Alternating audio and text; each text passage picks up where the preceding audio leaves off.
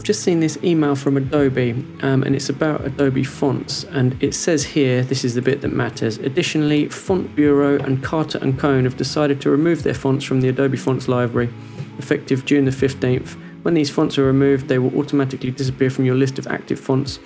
This means that the fonts will no longer be shown in the Fonts tab of the Creative Cloud desktop application or in your desktop software font menus.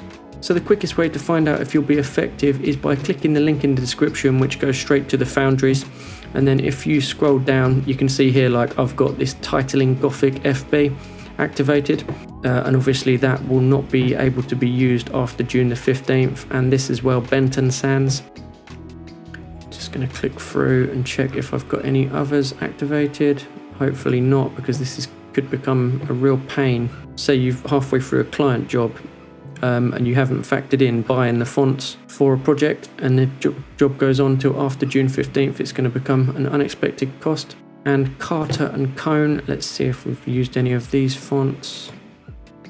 I haven't got any of these activated, so that's lucky for me, but I'll put the link in the description and you can check for yourself. So after June the 15th, if you want to use them fonts, you'll have to buy a license directly from their website. If you are working on a logo design that uses any of these fonts, now or before June the 15th, 2020 would be the time to just open up that file um, and duplicate the artwork and then just outline it. And that way, even if the fonts are deactivated and for you can't for whatever reason buy a new license, at least you've got the vector paths of the font. And I'm pretty sure that's all a street legal thing to do as it's available, like these fonts are all available now anyway. So I can't see how outlining it and then using it in the future will cause any trouble. Um, but yeah, just wanted to give you a heads up. Cheers.